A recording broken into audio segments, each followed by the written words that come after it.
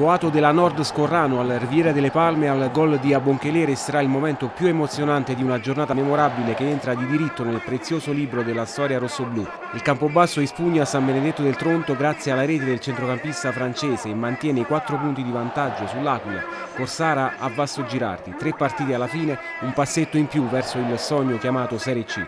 Stessa formazione, stesso assetto, stessa fame di vittoria. Per Golizzi non cambia nulla, si affida a chi ha rilanciato le quotazioni rossoblù dopo il mini periodo di crisi. Lo studio tra le due big dura qualche minuto. Senigalliesi alza la mira di un metro dal versante sinistro appena fuori aria. Ritmi abbastanza blandi, i lupi non hanno fretta ma subiscono a tratti i cambi di gioco avversari. La prima vera occasione della partita è di marca marchigiana. Al diciassettesimo Cardoni approfitta di un intervento poco deciso di Lombari, crossa al centro dove Scimmia manda alto da posizione più che favorevole. Pergolizzi vuole i suoi più dinamici a centrocampo, De Cerchio sembra un po' fuori dalla manovra. Al 25 arriva anche il primo tentativo molisano con Maldonato dai 25 metri, tiro deviato in corner.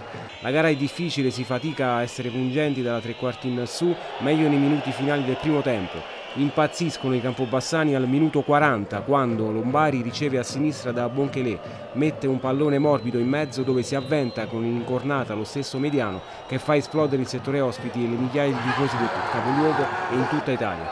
La Samba accusa il colpo, qualche istante dopo serve un miracolo di Ascioti sul tiro a colpo sicuro di Dinardo su assist al bacio di Luis Maldonado. Riparte bene la squadra di casa che si affida subito al tentativo sotto misura di Tomassini sul quale è bravissimo a respingere di piede Esposito, ma serve un altro miracolo del portiere che a tu per tu con Senigalliesi, abile a fare fuori eh, mezza difesa, senza paura salva il campo basso con colpo di Reni felino.